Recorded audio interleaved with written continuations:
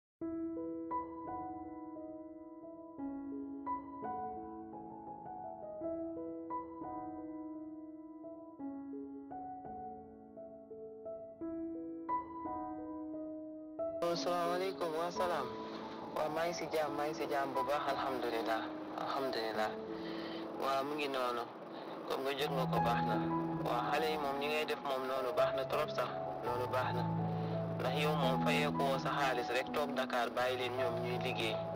waaye da ngay nekk ak ñoom sur le terrain di jàpp si liggéey bi ba nga xamante ni affaire yi commencé na ci xam nga xam nañu yoon bi ñuy jaar daal nga doog a dem si sa njaboot bàyyi leen ñoom ñu eggale. waaw loolu moom macha allah yàlla dina def barke ci li ngay def parce que li ngay fayeeku yaa ngi siy sonn waaw te ñoom tamit dinañ xam ne demoo rek bàyyi leen gannaaw waaw moo tax yal na yàlla taxawu la ci li ci des lépp incha allahu rabbi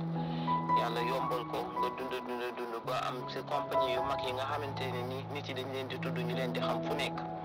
waaw yaa ngi ci yoon wi de ni nga commencé ni moom incha allah soo ko eggalee yàlla dina si def jàmm maa ngi lay ñaanal bu baax a baax a baax ci weeru koor bi nii waaw yal na yàlla defal la jàmm defal la sutura defal ko sa njaboot yëpp maa nekk si jàmm merci.